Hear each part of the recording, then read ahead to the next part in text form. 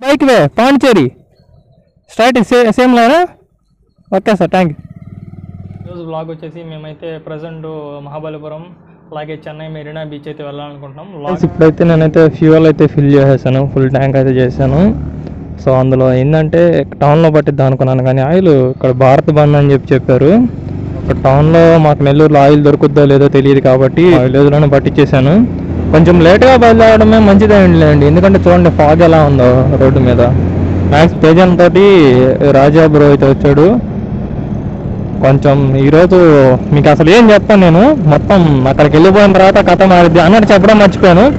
Ride వచ్చేసి చెన్నై అనుకున్నాం కదా మనం. చెన్నై తోటి ఇంకొంచెం పాండిచేరి అయితే యాడ్ చేసేసాడు తేజన్న కథ వేరేగా ఉంటుంది ఇంకా అన్నమాట. పాండిచేరికి వెళ్ళేంత వరకు. చూడండి ముందు పోతా అని అడిగిన. ఈ second toll gate full traffic ఇక్కడ. హెవీగా ఉంది. భారత్ బంద్ అన్నారు కానీ బంద్ సెంటమ్సెస్ అయితే ఎక్కడ కనిపించట్లా? ట్రాఫిక్ ఇప్పుడే తడకైతే వచ్చేసాము. తడ కూడా దాటుతున్నాం మనము. Two hundred and seven kilometres అయితే ఉంది పాండిచేరి సో బైక్స్ ఎక్కడ నుంచి వెళ్ళాలనేది ఇక్కడ అడగాలి ఇన్ని. సార్ బైక్ వే ఒకటి bike bike way Pondicherry straight same లేనా ఓకే సార్ థ్యాంక్ యూ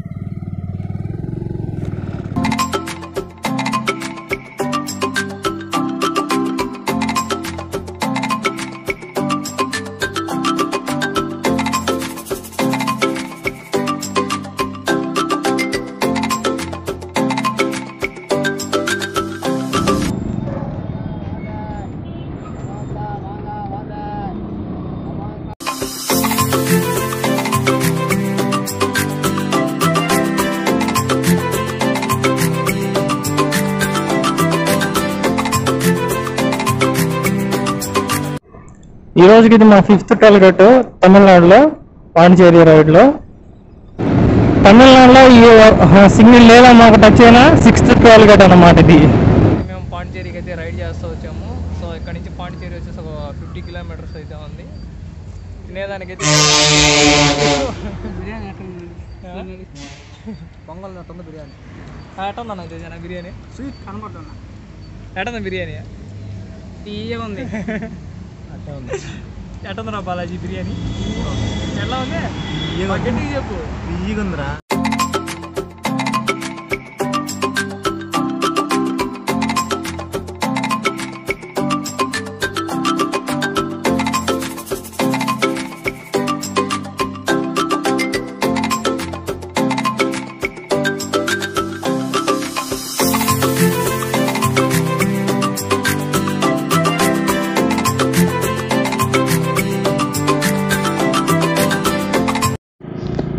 ఇప్పుడు లంచ్ అయితే చేసేసి బయలుదేరాము. ఇక్కడ చాలా దరిద్రంగా ఉంది ఫుడ్ అసలు. ఇక్కడ తినబడలేదు అసలు. సరే ఎందుకు తిన్నారు కాబట్టి అమౌంట్ పే చేసాము పెట్టి తిన్నాం తప్పని అంత మించి ఇంకేం లేదు ఇక్కడ. ఇక్కడ పాండిచేరిలో మంచి ఫుడ్ దొరుకుతుందో లేదో చూడాలి ఫుడ్ అయితే బాగుంటుందని చాలా మంది అయితే చెప్పారు నాకు పాండిచేరిలో ఇది అన్నమాట పాండిచేరి ఎంట్రన్స్ ఒక్క నిమిషం. ఇదిగోండి అప్పుడు బ్రిటిష్ వాళ్ళు కన్స్ట్రక్ట్ చేసిన పోర్ట్ అనమాట అది. సో అందుకని చెప్పేసి దానికోసం నేను ఎంతసేపు వెయిట్ చేశాను చూపిద్దామని మీకు.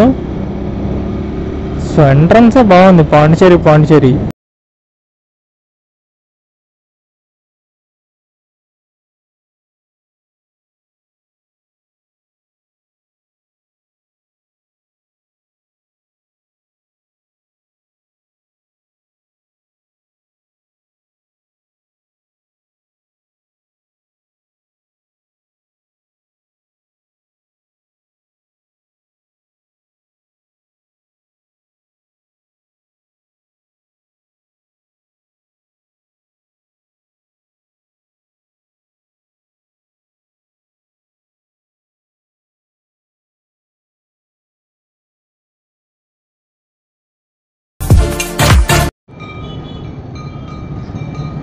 ఇక్కడ ఏదో ఉత్సవం జరుగుతుంది.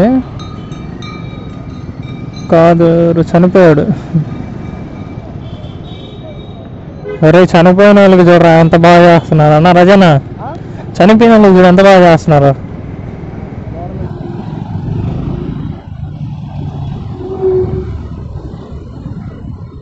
ఇక్కడ పోలీసులకు టోపీస్ అయిన బిలా ఉన్నాయి ఇక్కడ.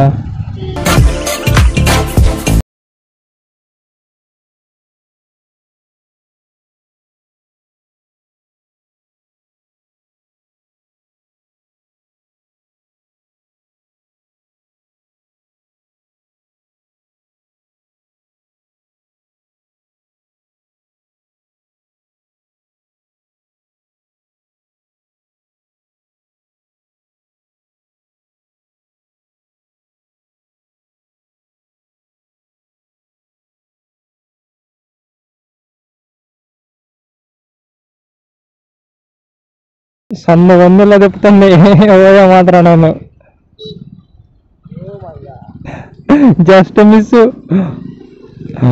ఓయో ఇక్కడ ఎవరో పెట్టింది అసలు? కాదు అసలు వాడు ఓయో పెట్టాడా లేకపోతే ఇంకేమైనా పెట్టాడా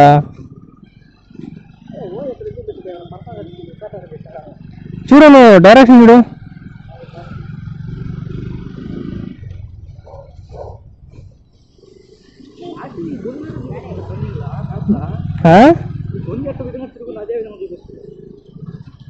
అంతా అదైతే మ్యాప్ ఇస్తాడు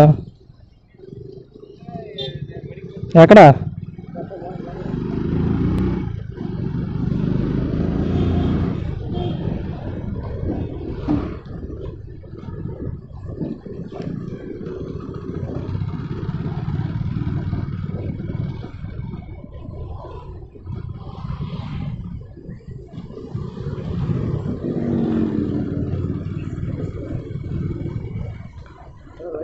అది ఇందాక చెప్పండి ఈస్ట్ కోస్ట్ రోడ్ అని చెప్పి ఈస్ట్ కోస్ట్ రోడ్లోకి వస్తాం కదరా మనం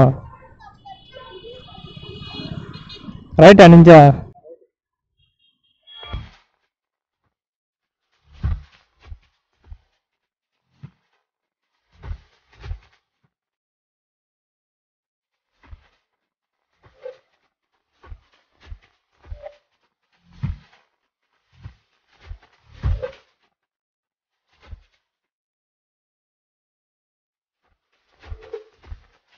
సో పాండిచేరి నుంచి వచ్చేసి ఇప్పుడు బీచ్కి అయితే వెళ్తున్నాము. చూపిస్తాను మీకు. మా వాళ్ళు ఇక్కడ ఏదో ఎతకతా ఉన్నారు. సర్లే వాళ్ళు వాళ్ళ ఇన్వెన్షన్లో ఉంటారు కానీ మనం మనం ఇన్వెన్షన్లో ఉంటాము. ఆ? ఫస్ట్- అయితే ఇప్పుడు బీచ్కి అయితే వెళ్ళేసి అక్కడ సాయంత్రం వ్యూ ఎంజాయ్ చేసి వచ్చేస్తాం ఈరోజు అయితే మనం పాండిచేరిలో అయితే ఉన్నాం. మొత్తానికి పాండిచేరిలో వచ్చేసి మనం వైట్ హౌస్ బీచ్కి అయితే రావడం జరిగింది. మన పక్కన రాజన్ అయితే ఉన్నాడు.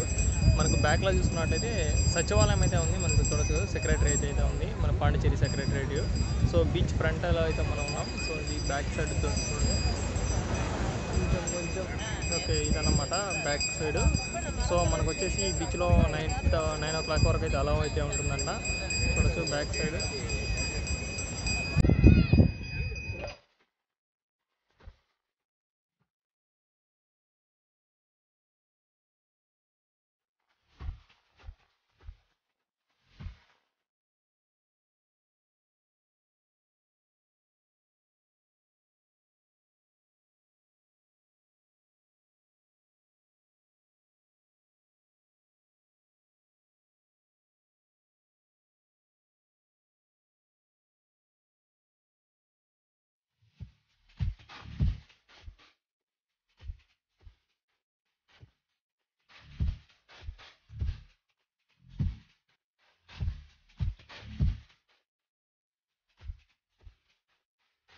సో అయితే పాండిచేరి వచ్చేసి మనకు నెల్లూరు నుంచి వచ్చేసి మనకు నెల్లూరు నుంచి అప్రాక్సిమేట్లీ ఫోర్ హండ్రెడ్ కిలోమీటర్స్ అయితే ట్రావెల్ చేయడం జరిగింది ఈరోజు.